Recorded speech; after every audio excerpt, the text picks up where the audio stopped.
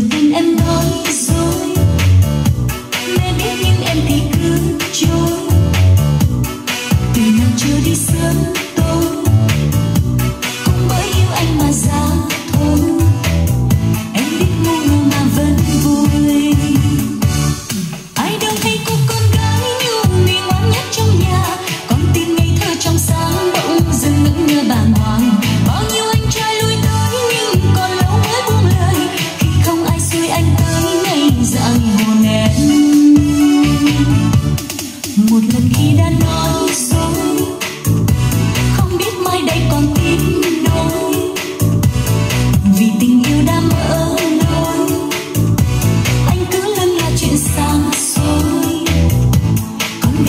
Giờ đi lui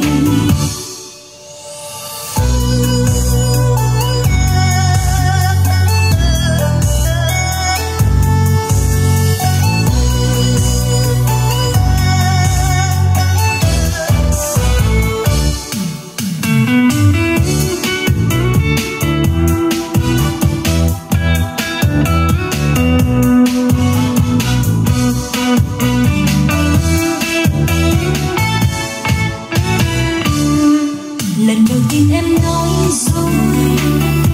Dối lắm nên nghe lòng bối rối. Mà vì sao em dám dối? Cũng bởi yêu anh mà dám thôi. Ai yêu anh là lê câu ngọt bùi lần đầu tiên em nói dối.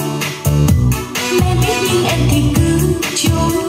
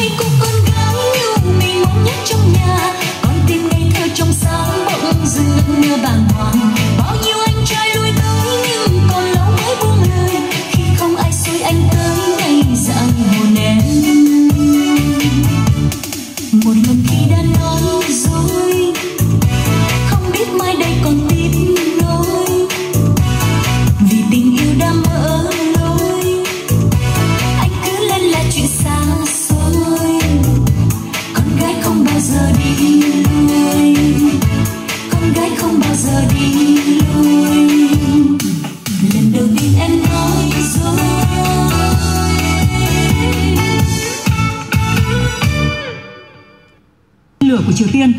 Trong khi đó hôm nay, Ngoại trưởng Mỹ Rex Tillerson thăm Trung Quốc với kỳ vọng là sẽ thúc đẩy hợp tác Mỹ-Trung liên quan đến vấn đề hạt nhân trên bán đảo Triều Tiên.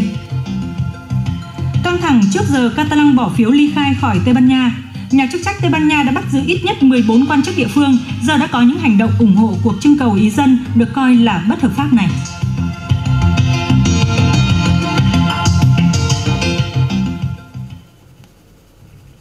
Bây giờ là nội dung chi tiết. Nhân dịp kỷ niệm lần thứ 68 Quốc khánh nước Cộng hòa Nhân dân Trung Hoa mùng 1 tháng 10 năm 1949, Tổng Bí thư Nguyễn Phú Trọng, Chủ tịch nước Trần Đại Quang, Thủ tướng Chính phủ Nguyễn Xuân Phúc, Chủ tịch Quốc hội Nguyễn Thị Kim Ngân đã gửi điện mừng tới Tổng Bí thư Chủ tịch nước Trung Quốc Tập Cận Bình, Thủ tướng Quốc vụ viện Lý Khắc Cường, Ủy viên trưởng Ủy ban Thường vụ Đại hội đại biểu Nhân dân toàn quốc Trương Đức Giang.